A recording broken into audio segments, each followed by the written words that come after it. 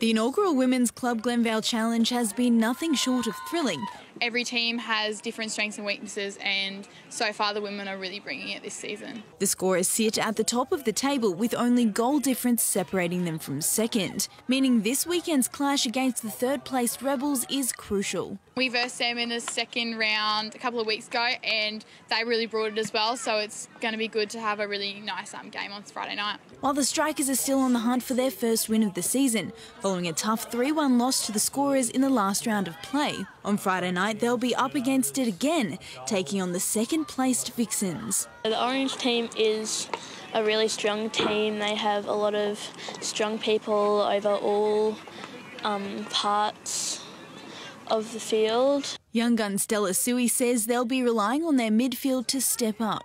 This team has a really strong attacking line, so the midfield need to help the backs to get through to the ball and then go again to the strikers. While in the men's, the Farmers took a lot away from their round four loss to the competition's ladder leaders. We just got to work on our defence more, and then um, I think we'll we'll go all right. They'll look to come out firing on Friday night against the scorers. Probably just put more goals in the back of the net. Just um, work on working it up and then finishing our chances. Vesperna Dickinson, 7 News.